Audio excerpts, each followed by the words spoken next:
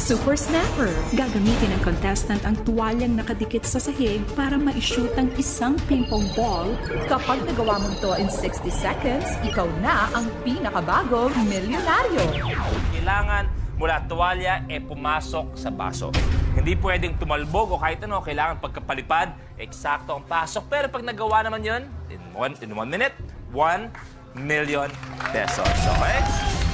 Eto na, Ivana, are you ready? Yes. Our ultimate last woman standing, and you have a minute to win it.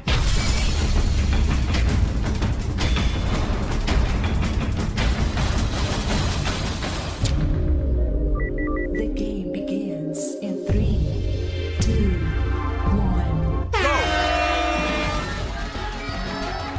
Tandaan, bawal tumalbog. Kailangan...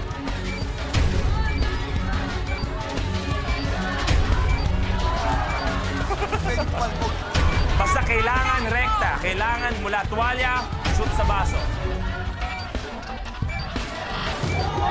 Uy! Uy!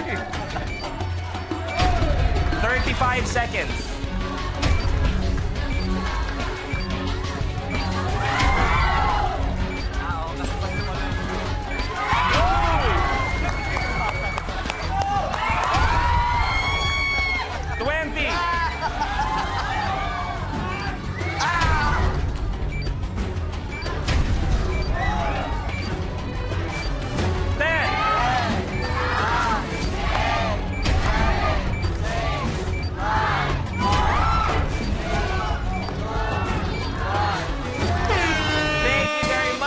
Much. Hindi nagawa ni Ivana.